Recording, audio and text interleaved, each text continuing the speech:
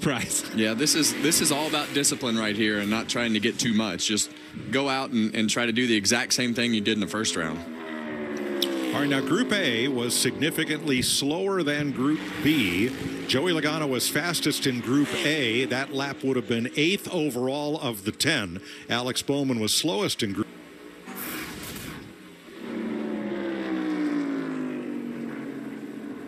Just trying to get arced out a little bit too far. It touched the rear, put the front back into it, bounce off of it a couple times. Just like you said, sucked him in. Second lap was within one one thousandth of a second, but not faster. So here's Ross Chastain, who ran a 40, a 22.40 in round one.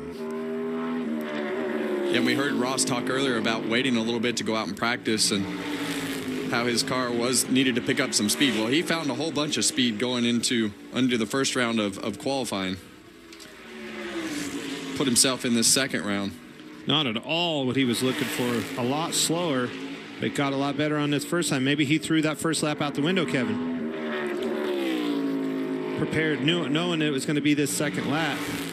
Got back to the gasket. Can he stay with it? A good pickup to a 48. That's within eight one hundredths of what he ran in round one. Kyle Larson with a 35 in round one.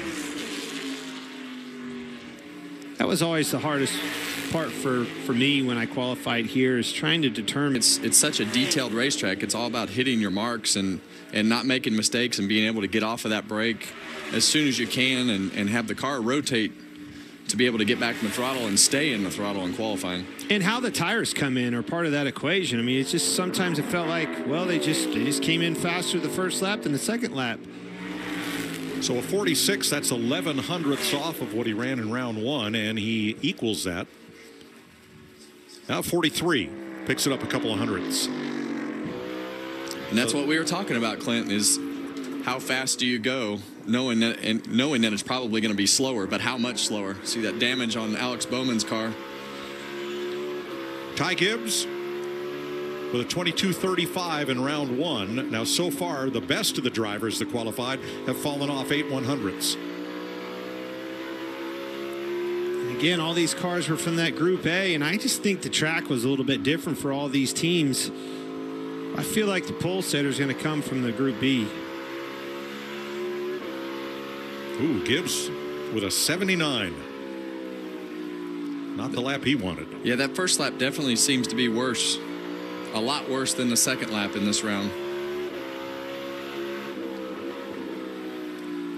Tires have set quite a while for these teams in this Group A. This is a, you know, a long turnover period for those tires, long cycle. And that's exactly what they do. They'll go through a cycle as they cool off, heat up and cool down. Usually, what's that cycle mean? Typically tighter. So that's a 24 100ths fall off from round one for Ty Gibbs, the worst we've seen in Group A. Here's Joey Logano. A 33 in the first round is what he's trying to get close to.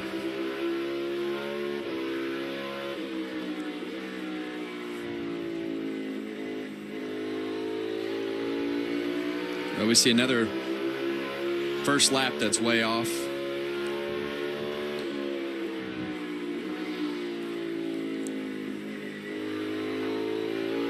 That first lap was half a second off what he ran in the first round.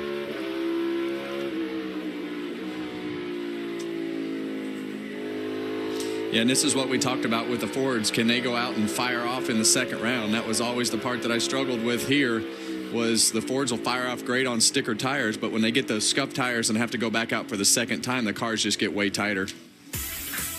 Joey Logano with even more of a fall off. Kyle Larson is atop the board after round two, Group A. This isn't Charmin. No wonder I don't feel as clean. Hurry up, Dad. I'm trying. This cheap stuff is too thin. Here's Charmin Ultra Strong. Ah, my bottom's been saved. Woo-hoo! With its diamond weave texture, Charmin Ultra Strong cleans better with fewer sheets and less effort. What's everybody waiting for? This? We all go. Why not enjoy the go with Charmin? And for a shower fresh clean feeling, try Charmin flushable wipes. Hurry Hurry up and try new Little Caesars Crazy Puffs. They're four fun-sized puffs packed with layers of pepperoni, cheese, and sauce, and only $3.99. So what are you waiting for? Try them now. You heard him. We need to go try these new Little Caesars Crazy Puffs right now. Stop it! Drive like the wind, Debbie. Enjoy delicious new Crazy Puffs on the go for just $3.99. Only at Little Caesars. Pizza, pizza. Just because a hotel says it's dog friendly doesn't mean a dog will find it very friendly.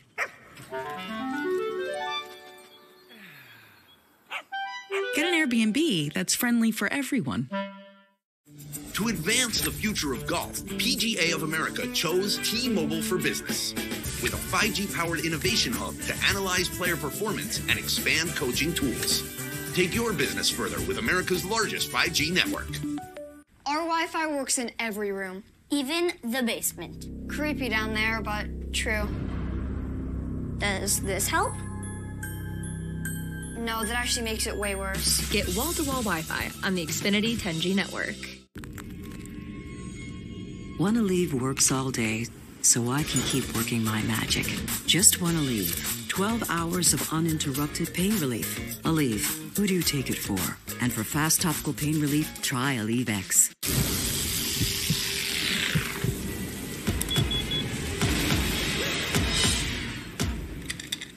Nothing scary about Energizer Ultimate Lithium, the number one longest lasting AA battery. Round two, Group B.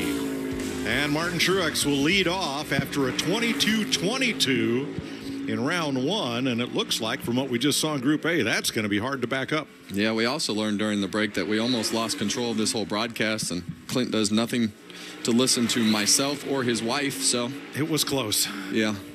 You, you, you just did that to me. Yeah, I know Lorra's listening. This is fantastic. Fantastic news. Come on, Truex. Bail me out here.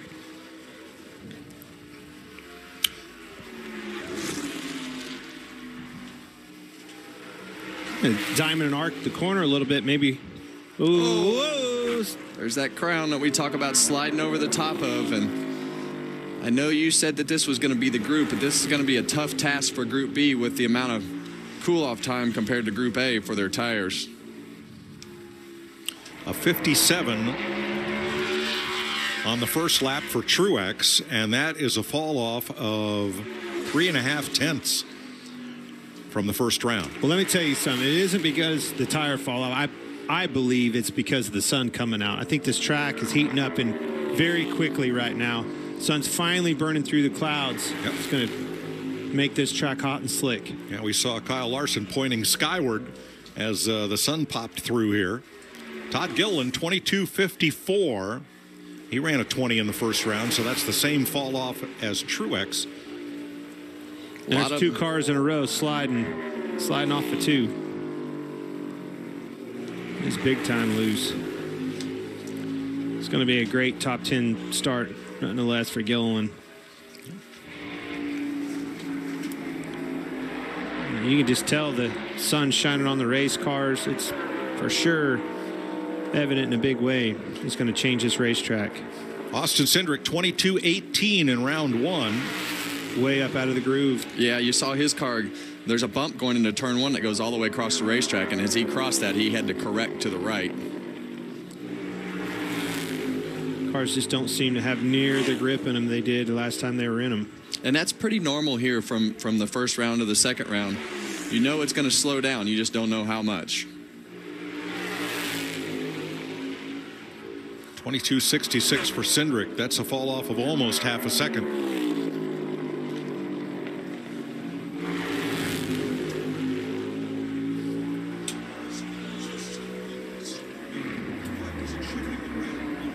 Kyle Larson liking what he sees right now. He's hoping that sun stays shining bright on the racetrack. Down to Bubba Wallace and Chase Elliott to challenge Kyle Larson for the pole. And Bubba did a great job of hugging that yellow line in one and two. This is by far the closest we've seen anybody to Kyle Larson off of two. Can he hold suit down in three and four? Rotates back to the throttle. I think he's going to pay the price. Pointed the wrong direction up off. Had to lift at the wall.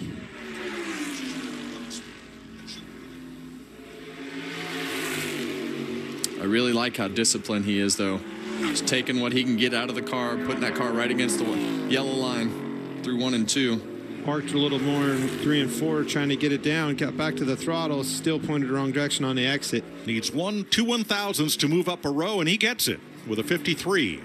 Down to his teammate.